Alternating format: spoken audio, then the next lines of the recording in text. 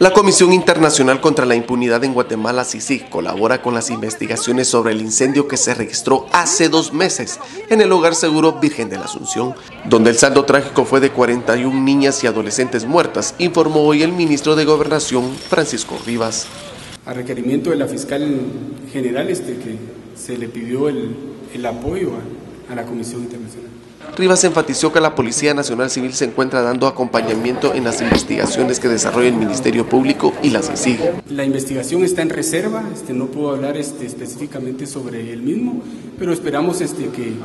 que en los próximos eh, días este, los avances sean mucho más eh, significativos para informarle a la población y a las autoridades judiciales las conclusiones en esta etapa de investigación que se ha desarrollado es muy probable que se hagan citaciones o que se hagan capturas en torno a esos hechos. Hasta ahora los detenidos y procesados por este hecho son Carlos Rodas, ex secretario de Bienestar Social, Anaí Keller, ex subsecretaria de Protección y Acogimiento a la Niñez y Adolescencia, y Carlos Torres Ramírez, ex director de la referida Casa Hogar.